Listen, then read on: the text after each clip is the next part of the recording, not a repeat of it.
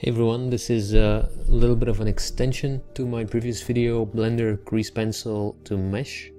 Um, there was a bunch of interest and a bunch of comments um, on, on the video, so I thought it was worth extending the topic a little bit and exploring a little bit more.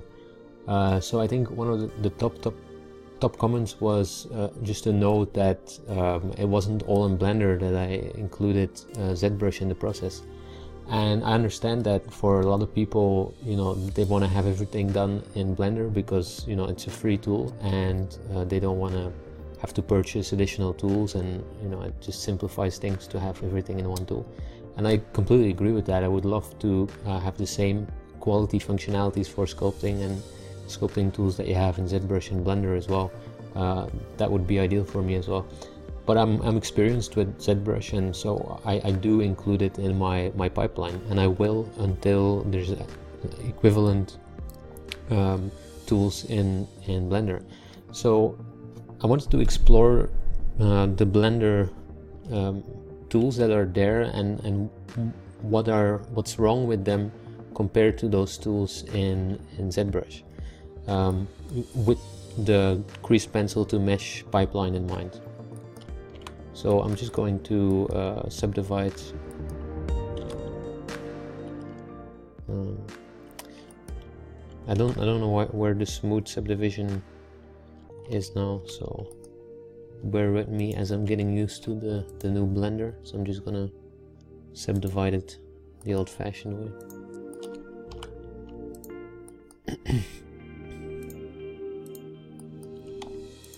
Gonna switch to matcap I think the, the, the basic studio lighting is a bit flat. I know you can change it. Um, but let's just use matcap. Okay, so we have uh, our sphere and we're just going to use it to, to draw onto. Then I'm going to create a grease pencil, blank. And then let's see, uh, we can just go into draw and set the surface snapping and then increase the offset to I think 0.001 or something should be fine. So let's see how that looks.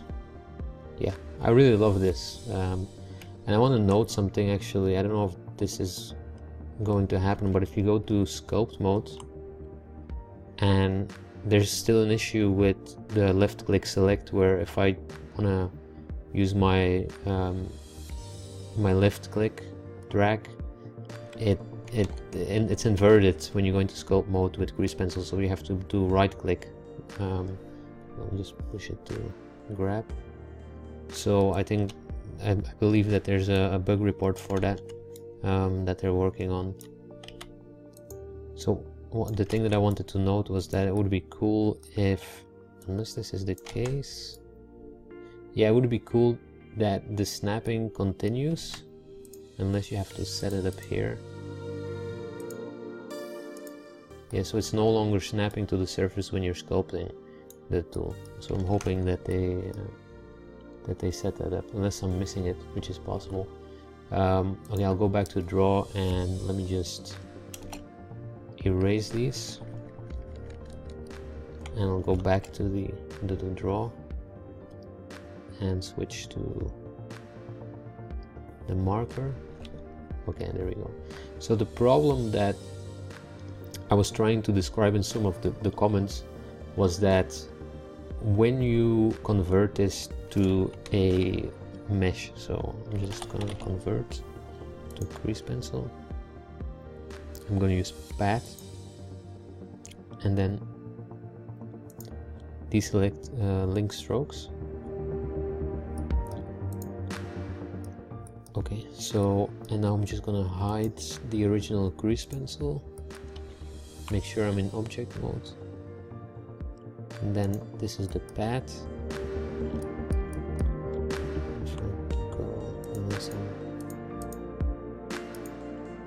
So very confusing icons in my opinion.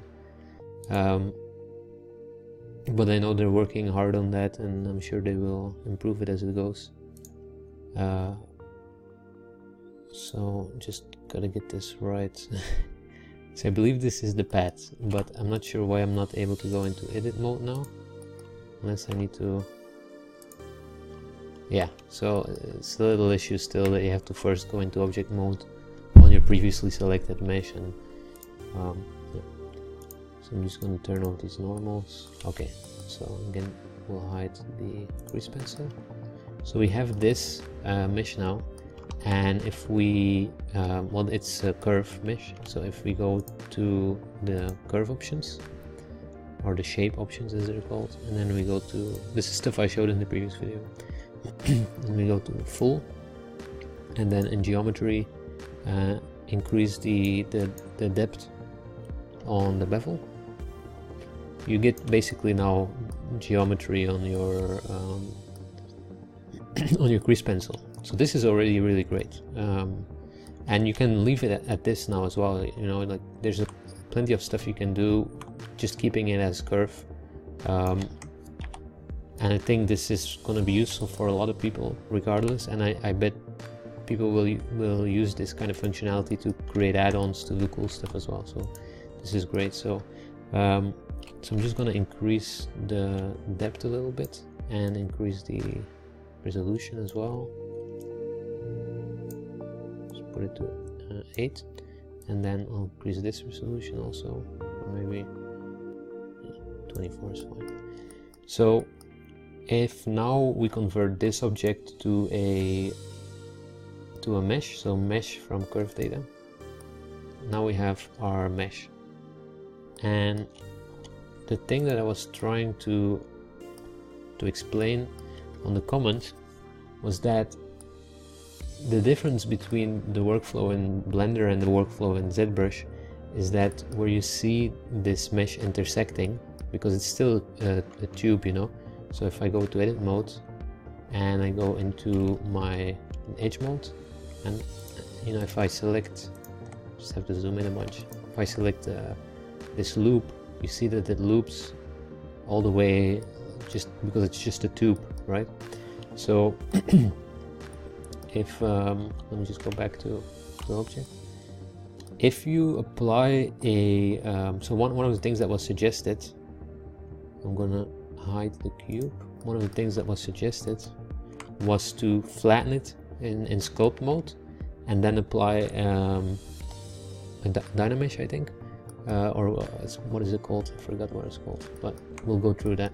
So I'm gonna um, duplicate it first so I have the mesh just in case something bad happens. And then we're just gonna go into sculpt mode and select the flatten brush and then just flatten the, the mesh out.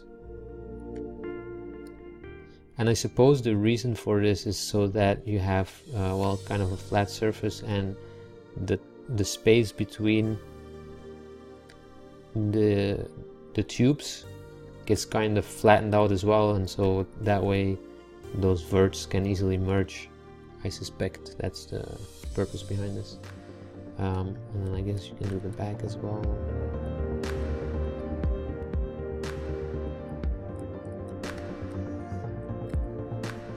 So now we have kind of flat surface here.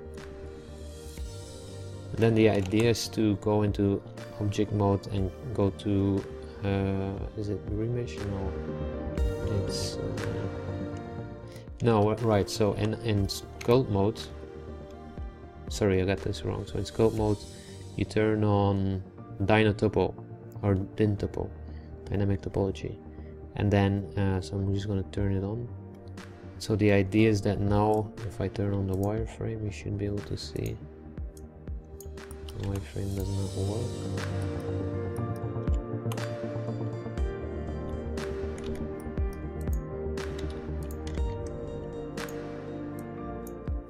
I wish we had this kind of wireframe thing for grid as well. Or do we? No, I don't think we do. So you can like reduce the opacity of the grid. Uh, that would be cool. So, okay. So here we have... So it's it's now with Dynatopo. If we go into sculpt mode, as you're sculpting on the mesh, it's kind of remeshing it based on the resolution that you have set over here.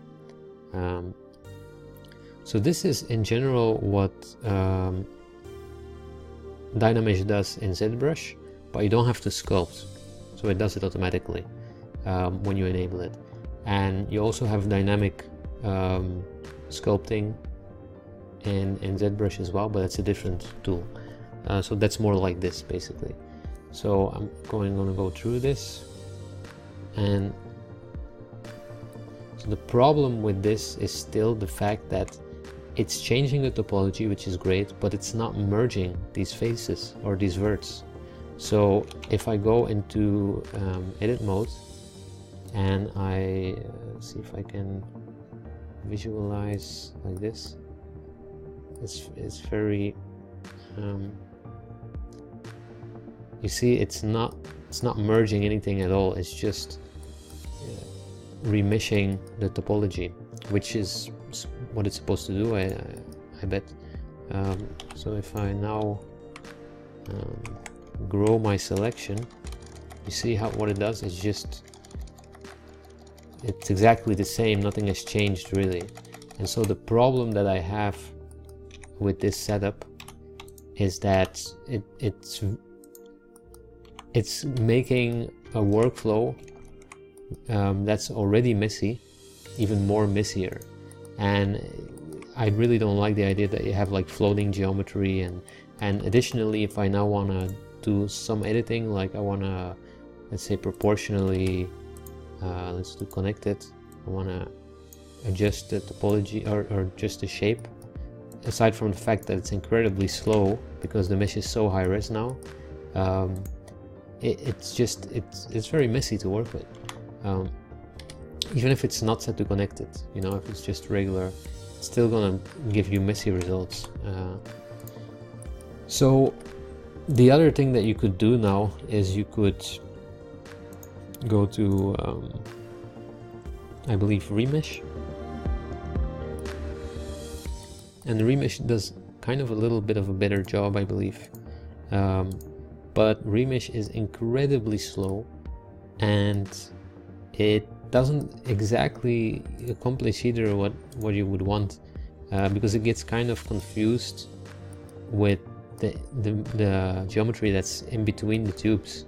So I think you would have to get it like to a really a sweet spot um, and it's just it's really very unideal like it, it this gets to a point that is so messy that I don't um, that I, I I wouldn't want to do anything like this. Uh, as someone pointed out also in the comments, like, why don't you just concept out these things in ZBrush to begin with? Like, why do we even need to convert uh, Grease Pencil to mesh and stuff like that? And to that point, it, it's it is because it is actually it's quite interesting to to sketch something out with Grease Pencil, and Grease Pencil is really powerful tool, and I can see it getting much more powerful as uh, Blender 2.8 gets um, like gets finalized. And I can see it becoming a very big part in into in the concepting uh, community. And even to me I'm not really a concept artist but I can see it because it's so much more intuitive to be able to sketch something out in 2D and 3D space and then manipulate it. And just having the the ability to then convert that to geometry and then continue to tweak that geometry it's it's a big deal like it, it's not something even though there may not be like obvious use cases for it now it's opens so much possibilities that it undoubtedly will have a lot of use cases. So i'm very excited about uh, the grease pencil. It's probably the thing i'm most excited about with blender 2.8 now what i would like to do is i would like to show uh, yeah, someone mentioned also that there's like lots of cleanup tools to, to get to deal with the floating geometry and stuff like that and I know unless uh, there's ones that I don't know about but anything related to the um, uh, to the cleanup like the delete loose and uh, you know all of these like they help a little bit. Um, like we, you could just also select all, all your verts and then uh, just to remove duplicates. And that'll get you you know it'll get you somewhere. But so even if we get it to this it really messes up the volume and it it kind of it's very uncontrolled you know like there's no real it's not really built to do what we're trying to do here. So, I mean, look what, what's going on if you go to wireframe mode. Um, it's just, it's it's not able to deal with this in, in the way that we would want it to deal with because it's not built for that. Um, however, if we, um, let me just hide this and I will unhide the one that we duplicated. There we go. So if we go to, to ZBrush, I'm just gonna export this to I'm importing that mesh. So I have the mesh here. So the difference is that with uh, Dynamesh and ZBrush, Dynamesh is essentially built for, for doing this. Um, it, if I, like with just the default settings now, it, you see what it does, like it basically, as long as the outer surface closes things up, it will delete whatever is inside of it. I'm gonna hide this one.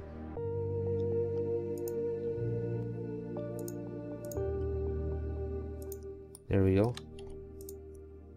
So let me switch to wireframe view or go into edit mode. So you can you can see it. You see it's completely empty inside. The difference is huge and the the topology is super clean as well. So and this is just without tweaking any settings. So even this didn't take very long to do and I, I didn't do it fast either. So and of course now at this point you can also um, sculpt on it in Blender. Uh, you don't have to do any of the sculpting in, in ZBrushes if you don't want to.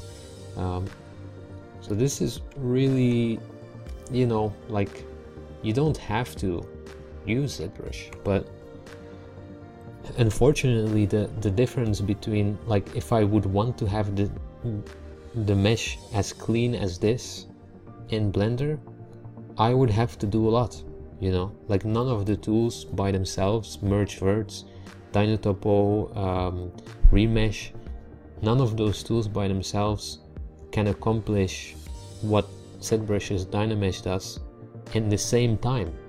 So the the best way would be in, in Blender, in my opinion, is to very robustly, um, very robustly just retopologize the geometry, which kind of then at that point it does kind of defeat defeat the purpose of you know concepting out something quickly. This is exactly what I do. I just draw something, and I don't fill it up.